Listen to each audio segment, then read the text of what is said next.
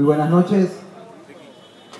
Quiero saludar a quienes nos acompañan, invitados especiales, el alcalde de la ciudad, el doctor Carlos Caicedo, la gerente del CET, la doctora Birna Johnson, a Luis Guillermo Rubio, director de los Juegos Bolivarianos, que también nos acompaña, al honorable concejal Juan Carlos Palacio, nuestra secretaria, la doctora Ingrid Adilla, a los miembros del gabinete distrital, a los alcaldes de las localidades, a los invitados especiales, a los hijos del doctor Caicedo, que también los veo por acá, Lisa, a Carlos Andrés, Juan, a los amigos de la prensa, un saludo un hombre muy especial para todos. Y ahora que venía para esta entrega, eh, recordé un poco a veces lo injusto, o lo injusto no, sino cómo algunos sectores basan o se aprovechan de cualquier circunstancia para desacreditar al gobierno, para desacreditar el modelo que se ha instalado en la ciudad y que ha venido entregando resultados. Hasta un paro estuvieron promoviendo por la supuesta inmovilidad que generaron todas estas obras, que hoy muy seguramente son los primeros en disfrutar, en gozar, pero que como han tratado de deslegitimar todo lo que se viene haciendo desde el 2012 a la fecha, cualquier cosita, cualquier piedrita, cualquier vía de retraso, cualquier baranda que no esté instalada, cualquier tema es aprovechado para poner a circular videos en redes y hablaba de unas supuestas demoras en estas obras. Estas obras no tuvieron demora de ninguna especie y son dos obras como las ven con la mayor calidad, con, la mayor, con el mayor estándar, estándar de construcción. Esta Avenida Libertador tiene un costo de 16 mil millones de pesos, no solo en la renovación de parte de la carpeta vial o de las placas, sino el cambio de tuberías de agua potable y agua servida, además de algunas de redes de agua lluvia. No se ejecutan 16 mil millones de pesos en dos meses o en tres meses. Lo mismo la otra importante obra que estamos entregando en el día de hoy, la carrera 19, que además tuvo la construcción de un box que recoge o va a intersectar todas las aguas lluvias que bajan por la Libertador, por la calle 22 o por todas las calles entre la 22 y la 29, las va a conducir al río. Es decir, todas esas aguas van a dejar de llegar al centro de la ciudad y van a mitigar un poco las inundaciones que hoy tenemos en el centro. Son 15.400 millones de pesos en estas obras. Obras que se han hecho dentro del tiempo, como se han venido haciendo todas las obras en la ciudad, como se han venido haciendo las obras del sistema estratégico de transporte, como se entregó desde que el sistema pudiera ser recuperado en el periodo anterior. Es injusto a veces, decía ahorita entonces, la crítica sin fundamento, sobre todo cuando se ha luchado por sacar proyectos que estaban hundidos o proyectos que no eran viables en su momento o proyectos que entregaron sin mayores avances.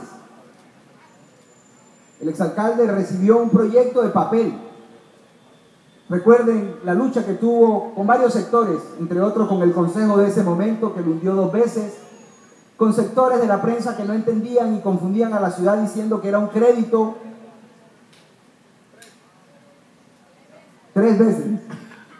Con sectores que lo hundían diciendo que era un crédito. Congresistas que se opusieron porque decían que esa gerencia de ese sistema debía ser liderada por ellos, por ese sector político, porque el proyecto inicialmente se había aprobado en periodos atrás cuando realmente no había avances ni técnicos ni financieros en el proyecto. Y se sacó adelante o lo sacó adelante el exalcalde y todas las obras se han venido ejecutando o ya no se acuerdan de la circunvalar por el rodadero, de los tres puentes que alcanzó a ampliar en su administración. de la terminación de la calle 29, de la principal del Líbano y otras inversiones del sistema estratégico que dejó en marcha, programadas y contratadas. O estas dos vías que encontramos ya diseñadas y priorizadas. Y que como, como parte del proyecto de continuidad se han venido ejecutando todas estas obras que son las que están transformando y cambiando la ciudad. Pero la crítica permanente, decía, escuchaba esta mañana en la iglesia que al fruto, al árbol que da frutos, es el que le tiran piedra. Pero es que a nosotros nos tiran peñones. No han dejado de dar, tirarnos. Y no cuentan para esos, para ellos o para ciertos sectores que no hacen sino perseguirnos. Nos sentimos perseguidos, acosados, todos los días. No solo con derecho de petición, sino porque a través de denuncias que llegan múltiples sobre todo de quienes gobernaron la ciudad en el pasado, los órganos de control obviamente han activado investigaciones de todo tipo, tanto la Contraloría, la Fiscalía, como la Procuraduría. Y cada cosa es denunciada y enseguida una investigación. Sí, al, al árbol que da frutos le tiran piedra, pero es que ya son demasiadas. Son demasiadas pero la ciudadanía nos agradece cuando nos ve, cosa que obviamente valoramos, pero quisiera uno ver una ciudadanía más activa también en redes, llamando a esas emisoras y defendiendo lo que se ha construido con tanto esfuerzo.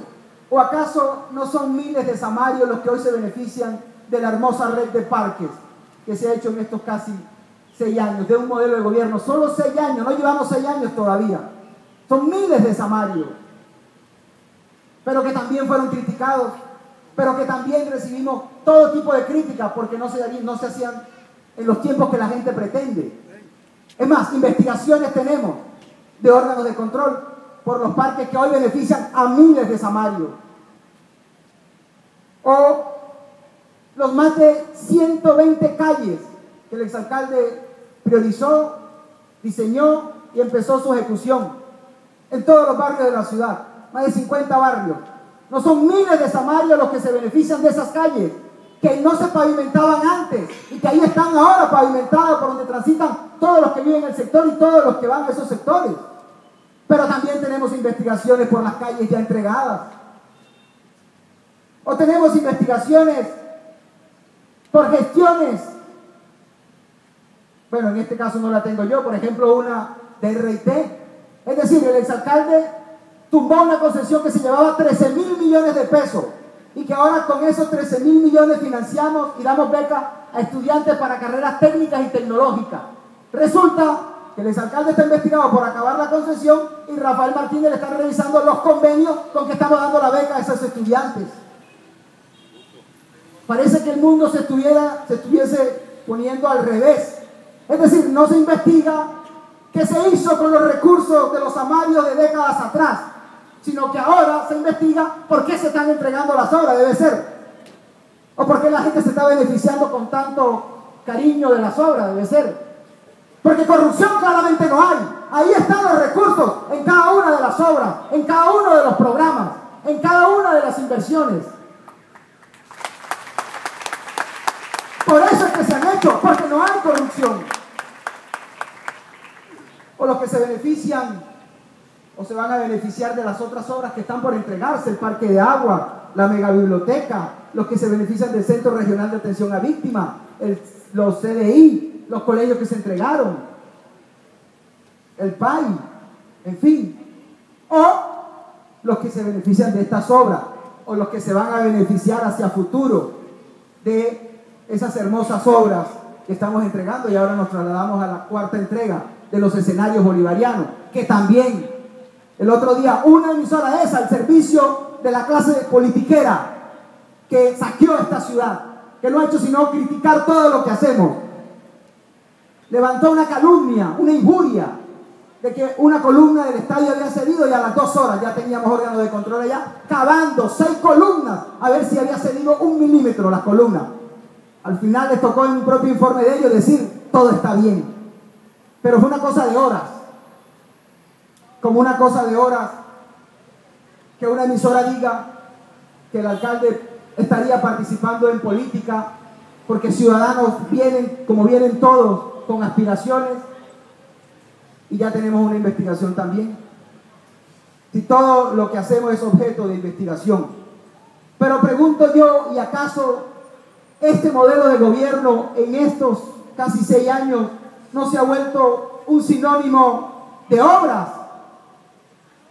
¿O este modelo de gobierno no se ha vuelto un sinónimo de progreso? ¿O esto no es progreso y desarrollo? ¿O esto no es un sinónimo de bienestar? ¿Cuántos se benefician de los parques?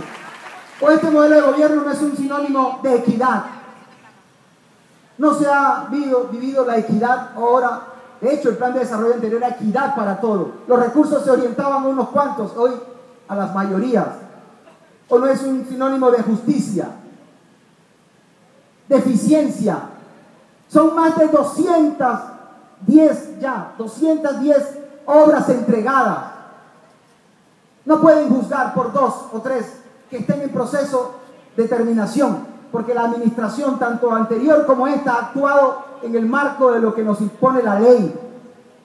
guardando el debido proceso, contratista que quede mal, se le sanciona, se le multa, al final se llega a una declaratoria de incumplimiento luego se visita otra vez, como el caso de la 22 y como otros casos que hemos hecho, el Instituto Magdalena o el colector de pescadito.